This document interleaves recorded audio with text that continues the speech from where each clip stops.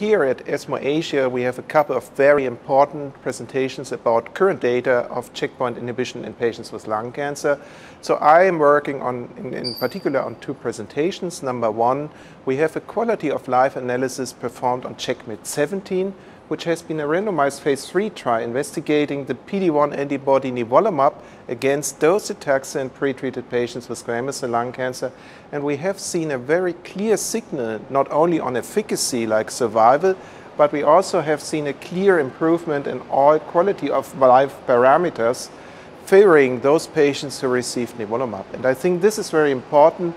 So besides the improvement of tolerability, we also do see uh, an impact on patient symptoms and quality of life. And I think this is very important also for the practical clinical life that we are performing every day.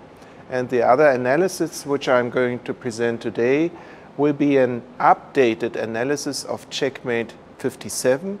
This has been a randomized trial investigating nivolumab versus docetaxel in pretreated patients with advanced non-squamous non-small cell lung cancer and what we have seen there has been uh, maintenance on the impact on overall survival, even with the long follow-up, even with the 18-month survival data. So we do see a continuation of the improved efficacy of nivolumab compared to docetaxel in pretreated patients with non-squamous histology.